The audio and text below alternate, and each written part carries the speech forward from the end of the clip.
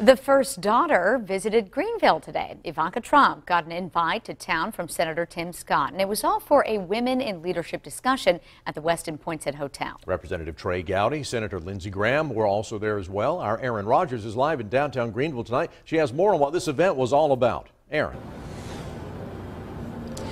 Well, the event was private and it was basically a question answer format between Senator Scott and Ivanka Trump. A couple hundred women packed this room to hear the first daughter of the United States speak. I think she's a great example for us to follow. Trump joined Senator Tim Scott on stage talking mostly about the newly passed tax reform bill. We've also expanded the number of people that will be able to get the benefit um, very dramatically.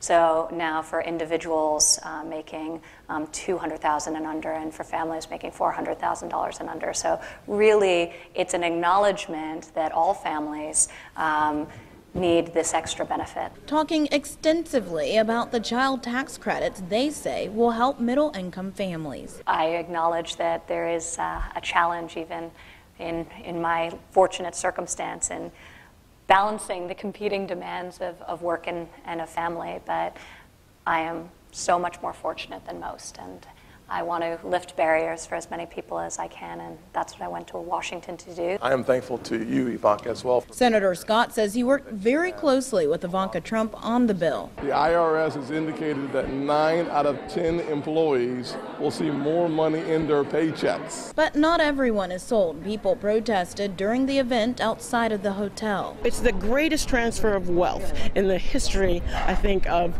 legislation. The tax reform bill was nothing more than an avenue to uh, have the rich again uh, receive more and, and the poor less. But people inside the room left satisfied. The experience was amazing. Senator Scott also weighed in on whether lawmakers might be able to reach an agreement to keep the government open by next month. He says he's optimistic. Live in downtown Greenville, I'm Erin Rogers, 7 News. You mentioned, Erin, that this was an invitation only event. Tell us about the women who were in that audience. What sort of backgrounds, professions did they represent?